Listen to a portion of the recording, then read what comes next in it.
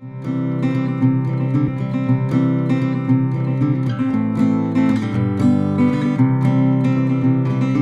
fans, Eric here, Nomadic Fanatic. I have an amazing RV tip to share with you guys. It's simple, it's stupid, but it really works, and I don't even know if other RVers actually use this concept. It enabled me to reduce my bowls and my plates down to one each. I eliminated paper bowls and plates completely, and I spend 98% less time on cleanup after meals. I use no water on washing bowls and dishes after eating. I mean, think back to how much water you actually waste washing dishes in your RV and how quickly that adds up, filling up your gray water holding tank.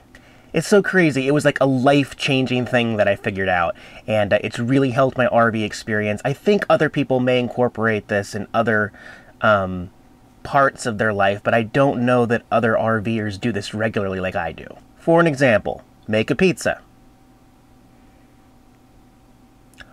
Oh, and when you take it out of the oven, put it on the cardboard box that it came in and cut it on there rather than cutting it on a pan. That'll save you another pan to clean also.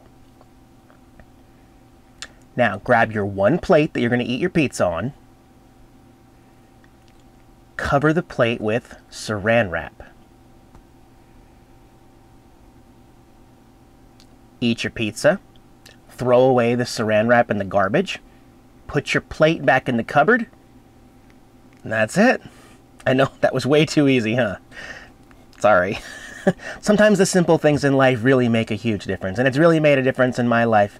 If any of you guys have already tried this thing, let me know how it works for you. Um, otherwise, yeah, give it a shot. All right, talk to you guys later.